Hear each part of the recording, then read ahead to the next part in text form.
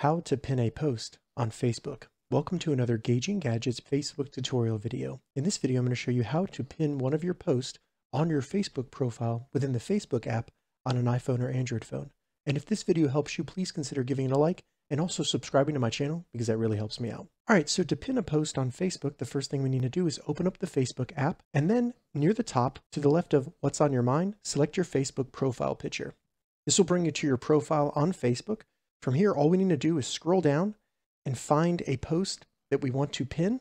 Once you find the post you want to pin, select the three horizontal dots located in the top right corner of the post. And then in the menu that comes up, simply select Pin Post. Once you do that, it'll move the pin to the top of your profile. And as you can see, it says Pin Post. Now, if you want to unpin a post on your Facebook profile, simply select those three horizontal dots again and select Unpin. And then that post will no longer be pinned on your Facebook profile. All right, so that's how you pin a post on Facebook. If you have any questions about this, leave a comment below. I'll get back to you as soon as I can. If you'd like to see more Facebook tips and tutorials, check the links in the description. If this video helped you, give it a thumbs up, and please consider subscribing to my channel, Gauging Gadgets for more gadget reviews and tech tutorials. Thank you so much for watching.